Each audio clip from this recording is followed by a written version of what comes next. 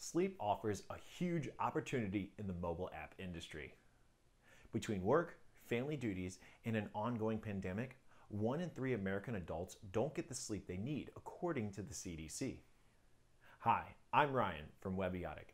In this video, we'll take a look at the different types of sleep apps available and what the limitations are so you can get started in creating your own sleep app.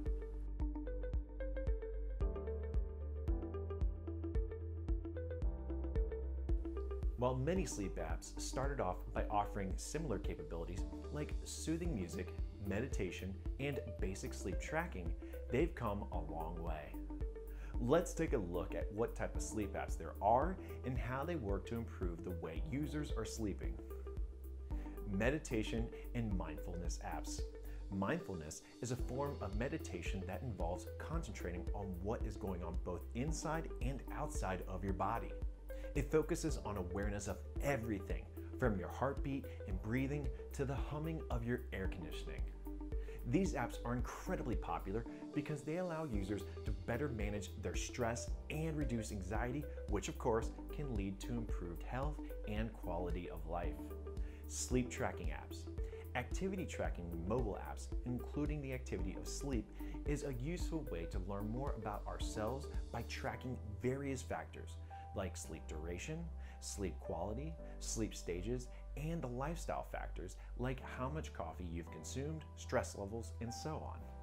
While not perfect, these type of apps work by recognizing sleep patterns and sleep habits to help users make adjustments that will improve their sleep. Sleep depth and sleep cycle apps. When it comes to sleep, there's no on slash off button.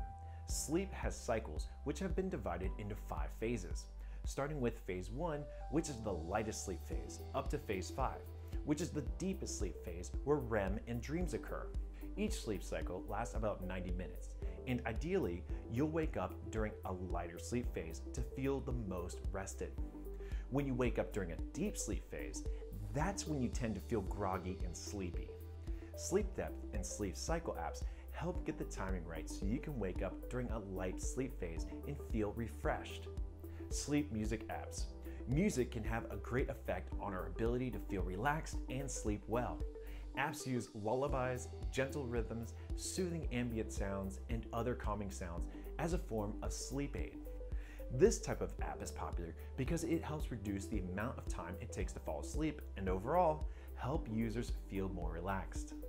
While sleep apps and trackers offer a wide breadth of sleep solutions that work, the technology behind them still has some limitations, which you should be aware of when developing your own sleep app. For example, they don't always provide an accurate measurement of sleep stages. This level of accuracy can only be achieved by measuring brain waves, which isn't possible for sleep apps.